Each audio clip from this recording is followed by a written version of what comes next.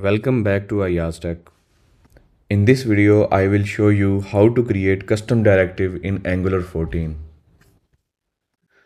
Here I have an Angular project running already in my local server. So I created this project from scratch. I use the ng new command to generate this new project. So let's begin so far you have uh, uh, used many other built-in angular directives. For example maybe you have used uh, let me delete this one first. So for example we have this element here. And you might have used ng for directive. And you also have used ng if directive. There are many more directive like ng class so these are the examples of the built-in Angular directives. So in this video, we are going to build a custom directive from scratch. So this would be very easy and straightforward process. So I will explain everything. So right now you can see that uh, uh, I have this very basic uh, Angular uh, div. So this is HTML div and I have some text in it. Now I'm going to generate a custom directive. So let's generate it. To generate angular directive you have to run this command ng generate directive. And obviously you should have the angular CLI installed already in your system then this command will work. So I am writing ng generate directive space and then you will write the name of the directive that you want to create. So i want to create a directive for example. I would name you can name it anything. I'm going to name it change me okay?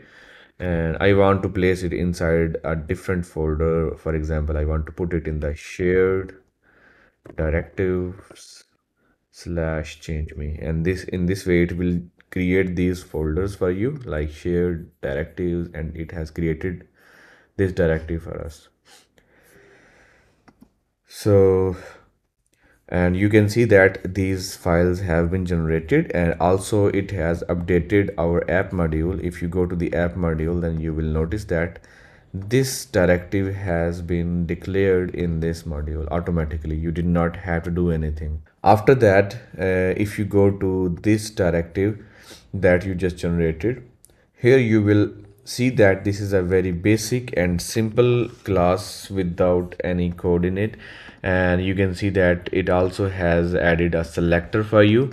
So you can use this selector to element for example uh, let's copy this name and go back to your app dot component.html and here you just have to add that uh, uh, selector like this. And as soon as you add it it will start doing its magic. So let's go back to the directive. And in this directive I am going to inject the element reference. So with the help of that I would have access to this uh, uh, HTML element where I have added this directive okay so just add private element element ref. So when uh, while you are typing in the vs code it uh, actually shows you some suggestions. So for example i'm typing it. So you can see that it is showing me this suggestion that uh, you can import it from here. If you click on that or if you press enter then this will automatically import that library for you. So this would be useful for you if you don't know about that. Now we have injected this element reference into this constructor. So now we can have access to that uh, html element and then we can make changes to that element. Let's uh, try to make some changes. For example so if you type uh, this dot element dot native element dot style dot background color red then if you reload it you will see that the red color has been added.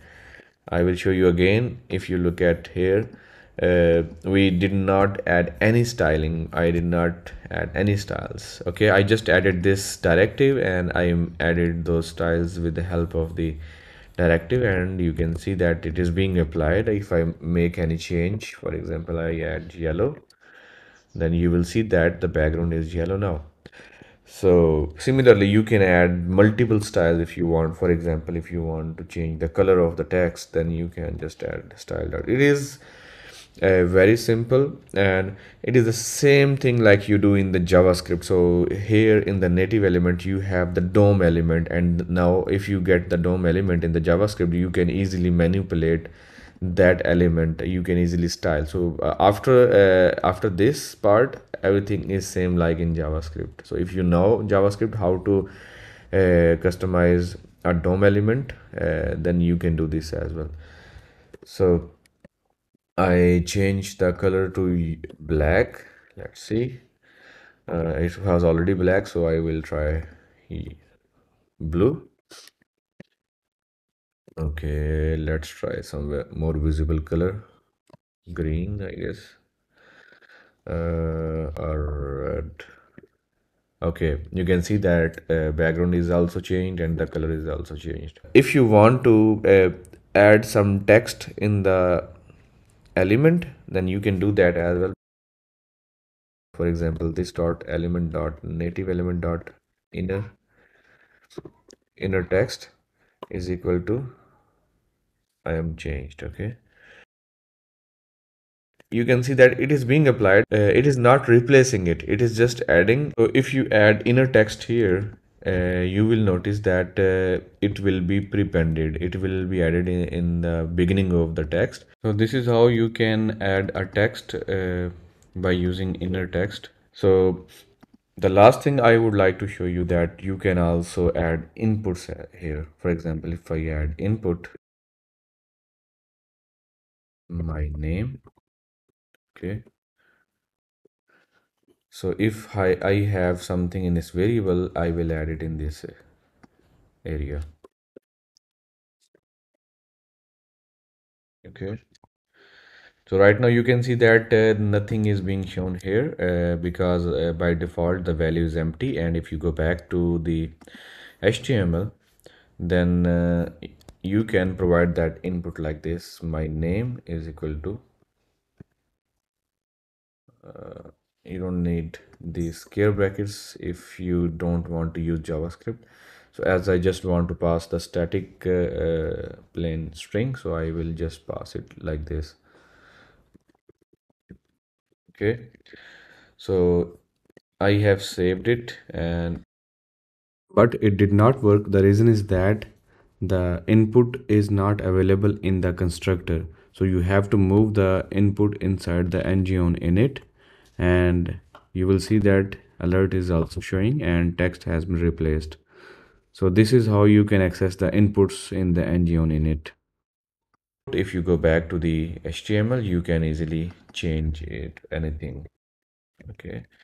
You can see that this is how you can pass your inputs. You can define as many inputs as you want so i hope that this video was useful for you. If you have any questions then please uh, ask them in co comment section. And also don't forget to subscribe to my youtube channel and click on the bell icon. Thank you